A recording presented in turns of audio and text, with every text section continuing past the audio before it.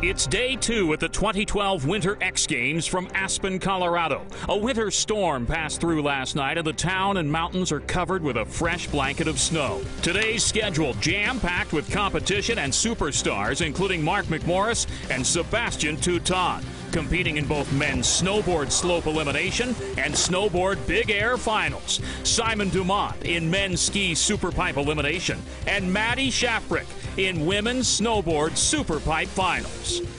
First up, men's snowboard slope elimination.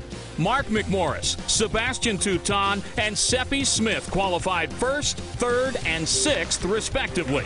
McMorris scored a 95 on his best run and I pretty much did the run I really hoped to do for this, so I can't really complain. On, ah, I'm just freaking out. I'm so happy. Next was women's snowboard slope finals, where Jamie Anderson got the highest score on record in her event and picked up her sixth medal in this event.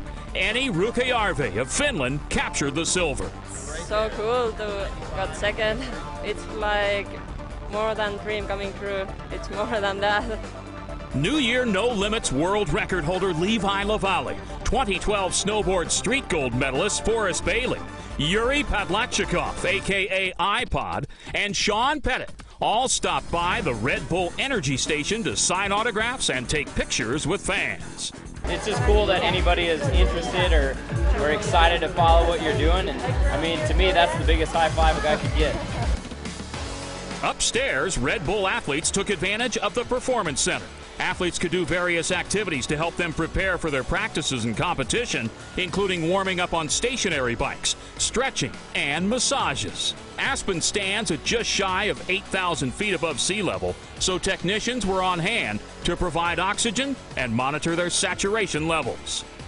We set this centre up here for one simple reason. We wanted to make sure the athletes had everything they needed to prepare themselves for their events and their competition.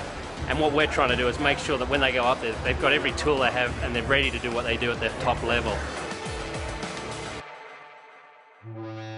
As the sun went down, the men battled in ski superpipe elimination. Eight time X Games medalist and six time medalist in the superpipe, Simon Dumont, qualified eighth for tomorrow's finals. Simon talked about his new look.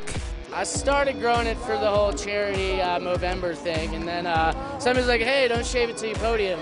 And like I had such a good year last year, podium pretty much like six out of eight events. I was like, "Oh, no problem." Got injured a couple contests. It just uh, hasn't got my way yet. And hopefully I can get on that podium so I can get rid of this ugly stash. The final two events of the day were women's snowboard superpipe finals and snowboard big air finals. Maddie Shafrick gave it her all with the heart of a lion, but it was Kelly Clark who repeated for gold. Ever since I was a kid, people call me Maddie Lion.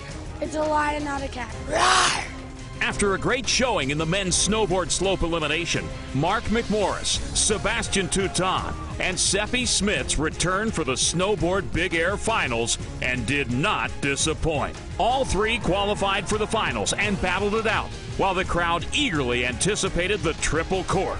Torstein Horgmo delivered and got a perfect score of 50 on his last attempt. But it was Mark McMorris' consistency and triple that won the gold. Yeah, I'm really stoked, man. I uh, landed a few runs and didn't really expect it, but I managed to end up on top of the podium. So I'm a happy camper, man. Sebastien Toutant also reached the podium with the bronze. That's all the action from day two at Winter X Games 16. Saturday's competitions include men's ski superpipe finals, ski big air finals, and snowboard slope style finals.